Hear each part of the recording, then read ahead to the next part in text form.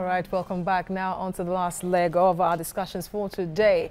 After months of threats that Nigeria's economy might slip back into recession, the International Monetary Fund has made a U-turn, saying the same economy is still on the radar of international investors. Now, the IMF says there is interest in Nigeria's securities market, but that investors will still worry over currency control and getting trapped.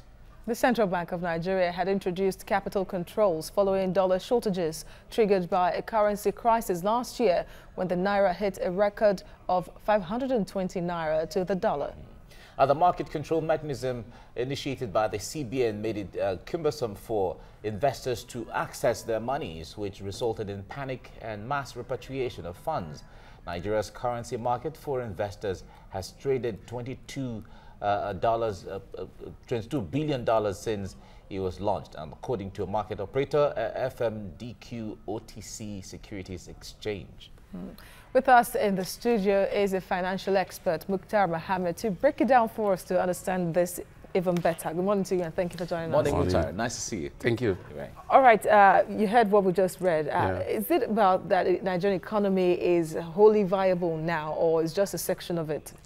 I think it's a section of it. Uh, if you go to detail of that report, it's the capital market desk of the International Monetary Fund that came with this um, reports that the, the Nigerian market is mm. see toast of investors. They were even surprised that investors were actually asking mm. them that they really want to invest in the Nigerian capital market. And mm. we, we need to look at various reasons attributing to that factor. One, the low valuation price of our equity, of some of these um, equity, um, stocks in the equity market. You have to look at the export and import, uh, export and investor window that was created by the CBN that has not gone below 365 to the dollar since its inception. So you look at that, they look at it, but they have the challenge, like you rightly pointed out in your report, a two-way exchange system whereby you could come in and they repatriate your fund. Mm -hmm. And this has been taken care of uh, by the CBN. And also, not to forget that we have stable exchange, um, a stable exchange rate, and also oil price seems to be very stable. Mm -hmm and we have peace in the Niger Delta. All right. Now, with, with this now, uh, if, if the capital aspect of things is, is, is, is strong enough to give confidence to investors, how would, how, how would that translate? How would that rub off on the areas that doesn't have confidence? Look, unfortunately, uh, we, when we, we're looking at investors coming from the foreign, foreign, foreign, foreign portfolio, I mean, foreign investors, mm -hmm. you look at it in two ways. We look at foreign portfolio investors, investment, and we look at foreign direct investment. So now, if you look at foreign portfolio investment, it has been on the high side one, because of our yield in terms of treasury bill and also in terms of valuation in the capital market, which is still very, very low and the, the, the, the companies are doing very well.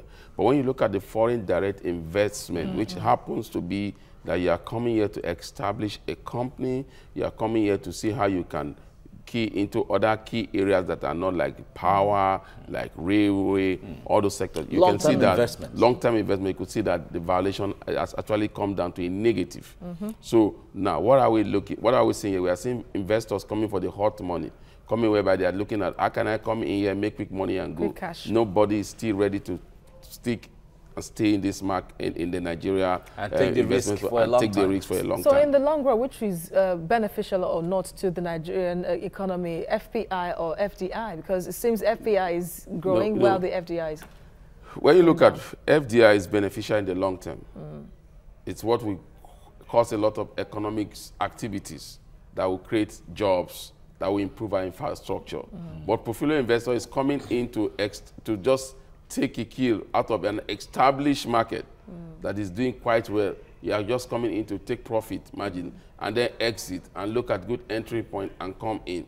That already, you those ones are only making money for themselves. But then the the, sec, the, the, the tax incentive that the tax incentive that will come to the government, government. is just there. But okay. trickling down to the average man on the streets is quite unfortunate. Even even not only to the average man, even to the middle class, mm. Nigerian middle class also don't play the equity market or the capital market that much to get the kind of return these foreigners get from our market. So, so when it comes to portfolio investment, uh, foreign portfolio investment exactly, is it just the tax that Nigeria benefits from all of the investment in that regard? From that of, window? Of course, it's just the tax you benefit from. It's mm. just like an invest. It's the normal investment. It's just like in Nigeria investing in the market.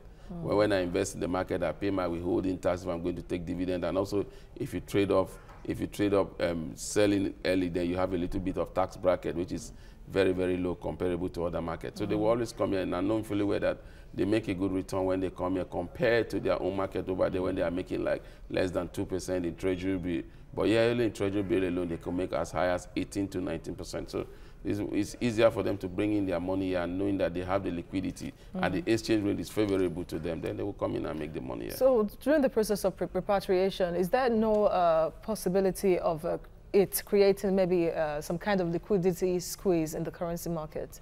It does. It does. Uh, you, you could see that play out this week because the CBN did not come to the OMO. That is where they have to come and buy up treasury bill to mop up liquidity. There will come a little bit of panic, and they, they, you could see that playing down in the exchange rate, and mm. it went to as, as high as 365. We've been maintaining 360, 361 for a while now. Mm. So you, you, you could see that it also to go that there's still fragility in terms of the exchange. So meaning by the government still paying somehow from the from the money it gets as tax now, it could be paying it back again look, in the, devaluation of the currency yes, somehow. look, the way we run our economy is, uh, is um, we just, whatever we earn from our foreign exchange, we use it to defend our currency. That's how it has been. There, nothing has changed. And so even the current, uh, the current leadership of the CBN is, is doing very well. But again, with the type of challenge they have when they came in, then you know that they still have to do a lot. So they need to try to do stability. You know, you have, you have stability in terms of monetary rate, stability in terms of fiscal rate. We think of, say, we keep saying that uh, stability in terms of monetary rate is, is, is, is, is better now. Mm. But in terms of fiscal, fiscal mm. we've not done anything. Now, we, you have said that it, it is more beneficial in the long run mm. for, for us to have foreign direct investment into the mm. country. Now, all may not be on ground now, but if government has to take the steps, what, what, are, what are the things to be done to attract that kind of FDIs into the country beyond the portfolio investment we're you having? See, we, we already have the market in mm. terms of infrastructure. We have deficits in infrastructure. They want to come. Now, they want to come in, but we need to put up a lot of um, policies that will help them to come in and also help us to come in. Number one, they have to be a little bit of tax incentive for them to come in. Then they need to look at security because nobody wants to invest in, in, in, in an economy that is not secure. Mm. Then secondly, they want to see consistencies in policies. Because what happened in Nigeria that there's no consistency in policies. When a new administration comes mm. in, not hmm. just a new administration even coming, a new minister or a new uh, whoever comes in, he try to tickle with whatever has been there. So there must be consistency in policy. We need to drop a, a good plan work. That's what we have, the Economic Recovery Growth plan. plan. But remember that we have always had plans. We have not, remember the needs plan, all those plans. Mm. After the new administration come, they tickle with it. So they need to see consistency. They need to enter into an agreement with the government and know that the agreement is with the government. It's not with administration. the administration. Mm. So we need to come out with. We've seen a lot of policies somersaulting when it's not favorable to the minister, it's not favorable to the government in power. They tend to come in and, and play along with. You could see that playing up in the Nigerian port authorities also. So we need to we need to be consistency in our policies. We need to follow the economic growth plan and let it run over, run by seasonal professional, mm. void of politics. And it seems that uh, this, still talking about inconsistency now, it seems that uh, if the gains being made uh, in FPIs at the moment in the country is solely dependent on uh, the peace in the Niger Delta, uh, the currency, and so many other factors, meaning that, it, and then the price of crude oil at the international market, meaning that if there is a downward uh, movement of the crude oil price now, maybe somehow something happens uh, in the Niger Delta, it could affect uh, It, it, it will affect it because what happened is that when we are in crisis in Nigeria, we talk about diversification. Mm. When we see, any time oil price fall below our mark, you see us cry about diversification. Oh, agriculture, oh, mining, oh. Immediately there is stability. Forget it. We forget about it. That's what is playing out now. Remember, last year till early part of this year, all we're shouting about was how we are going to diversify the economy, how agriculture is going to be on the front burner. Immediately there is stability in the Niger Delta. Immediately the price of crude oil started going up. We are not talking diversification again. What we are not talking about is how to share the oil revenue in the three tiers of government, how to pay salaries. Nobody is talking about investment. Not even social investment in areas like agriculture and health. Mm. Nobody's looking at that, that the and price education. of crude oil is education. Nobody is looking at that, the price of crude oil is coming up now. So let's see how we can improve our educational sector. Let's see how we can improve our health sector. All we are thinking of now is how can we use this oil price to boost our political status. Mm. That, oh, when we came to power, we were able to grow the reserve. It's like a man that has money in the bank doesn't and you are so excited that you have so much money in the bank, you've forgotten that inflation eats up your money mm. when that money is not in circulation to generate something. Mm -hmm. We have a sovereign wealth fund.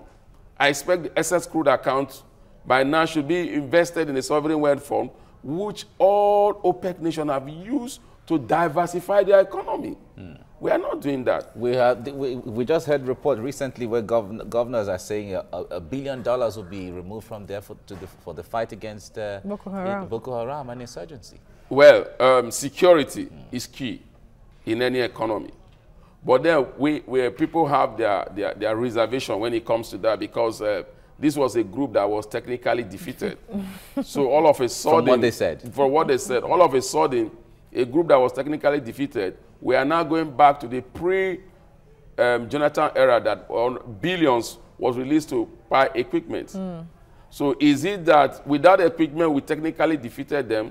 Now, what do we need so much again to fight them? But mm. that is one thing you don't play about, you don't play politics in. We, we might just say, as the media people say, whatever, we don't know the security reports that they have. So you don't play politics with your economy, you don't play politics with your security you must be up your game. So there's no political party. I personally think there's no political party. Where, you should not be political party when it comes to the economy of the nation and to the security of the nation. Mm -hmm. Everybody should come together and see how we can secure because once those two areas are secure, then the future of a nation is established. Of course, we're told that apart from security, really, education, health are also important as well to drive any economy because yeah. African countries and even the world are moving to knowledge-based economies for themselves. That's the only way your economy will be on autopilot. It will be working uh, for itself, by itself. But then that is not what we're seeing in Nigeria. So how can uh, Nigerian government mop up the gains um, it's making in FPI, which of, of, course IMF has attested to now that is becoming attractive. The worries are gradually fading away uh, to uh, boost the economy. Maybe the money being made from this one, which is uh, of course foreign exchange, foreign exchange, uh, to use it to boost the economy even at, even though we know the FDI, like we, we have analyzed now, it might not happen pretty much soon. Yeah, I, I, think I think the government need to get their act together, the fiscal policies. You will keep saying that the fiscal policy have not got their act together because I've not seen any meaningful project. I need I, I stand to be corrected. That is ongoing. That we could see it and say, look, this project is ongoing and it's going to help. Just, just, just you don't need to go far. Just look, take the look at the Lagos Ibadan. That was something people were excited about. Mm. All of a sudden, work have stopped. Nothing seems to be happening there. Mm. You talk about the, the rail project that we all shouted about, the um, Lagos to Port Harcourt, passing all through. Mm. East-West Road? East-West, we're not hearing anything. Mm. Those and now that the Lagos Ibadan Expressway has been suspended. Put on hold. so we, we, see, no, nobody will come to here. Nobody will grow our economy for us. Mm. That's one thing we don't know. A foreign investor will not come to grow your economy. They only come to see what they can gain and go out. Mm. Nigerian economy must be grown by Nigerians. So we need to come to the ownership mentality. And that is where area, that's one, only some few Nigerians are doing incredibly well. People like the Aliko Dangote, the Mike Adenugas, mm. they are trying to see how they can develop our economy. Mm. And they are even exporting but, but our economy but, to other. But, but they now are still reasoning as, as businessmen. Men. Yes, not as Nigerians. Even though it's going to rub off on the country and all of that, and then they fly the Nigerian flag because they are Nigerians, but they are going to reason from the mind of a businessman. Look, mm. the truth of the matter is no economy grow without the businessman mentality. Okay. Mm if we are going to practice capitalism, let's practice capitalism to the fullest. we have mixed economy. That's we, we just, we're just trying to be mixed. we, we are trying to be political. Mm. We, is it politically correct? Will it politically enhance our chances in the next election? Mm. Nobody's looking at is it economically viable to grow our economy?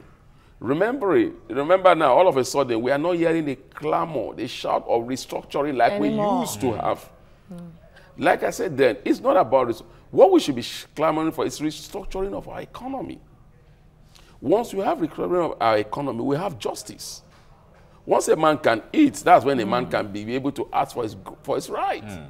All right, now, before we go, let me ask you this. The, there are still concerns about the multiple exchange rates. How is that helping or not the, the economy? It cannot help the economy as it stands, mm. the multiple exchange rate. But again, you, you, there's nothing you can do about it.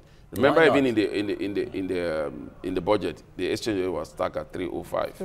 Um, the parallel market is 360, went to 365. Mm.